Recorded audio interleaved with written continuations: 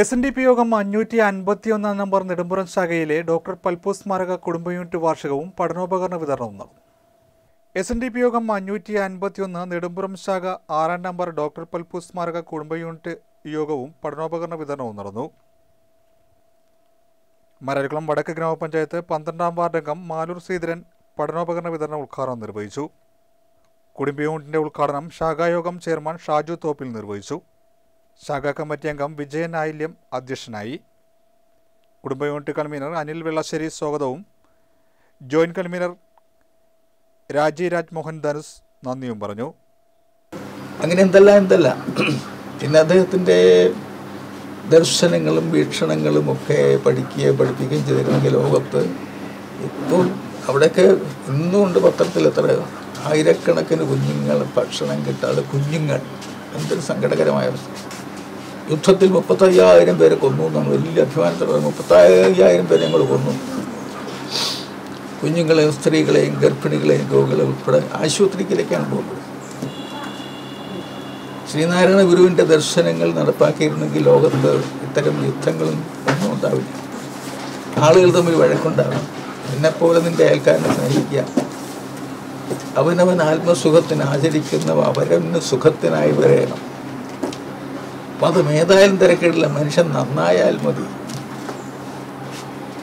ഇങ്ങനെ തുടങ്ങിയിട്ടുള്ള എത്രയോ എത്രയോ ഉപദേശങ്ങളാണ് തിരക്കിട്ടത്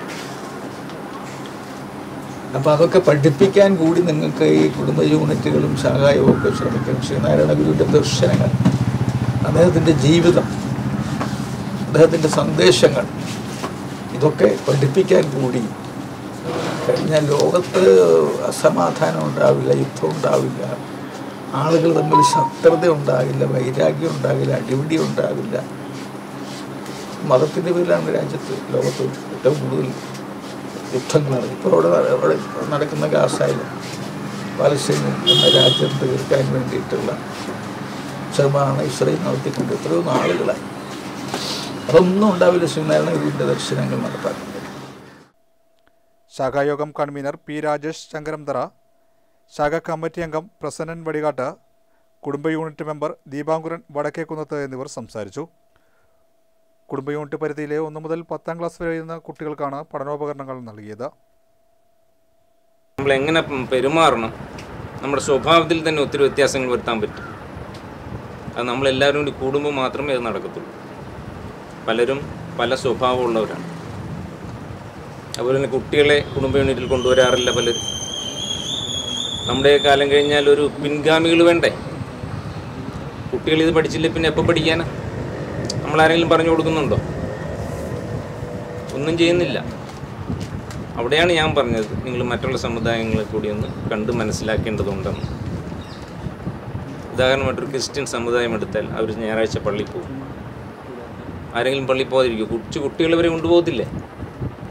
അതെന്തുകൊണ്ടാണ്? അവർക്ക് അവരുടെ സമുദായത്തോട് അത്ര ആത്മബന്ധമുള്ളതുകൊണ്ട്. അവർ ജനിച്ച് വളർന്ന സമുദായമാണ്.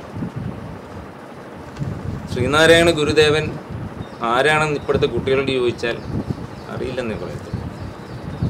നമ്മൾ അവർക്ക് ആ അറിവ് പകർന്നു കൊടുക്കുന്നില്ല. വീട്ടിലുള്ള അച്ഛനമ്മ മുതിർന്ന ആൾക്കാരാണ് കുട്ടികളെ നമ്മുടെ സമുദായത്തിന്റെ കാര്യം പറഞ്ഞ് പഠിപ്പിക്കുക. ശ്രീനാരായണ ഗുരുവിനെ കുറിച്ച് പറഞ്ഞ് പഠിപ്പിക്കുക.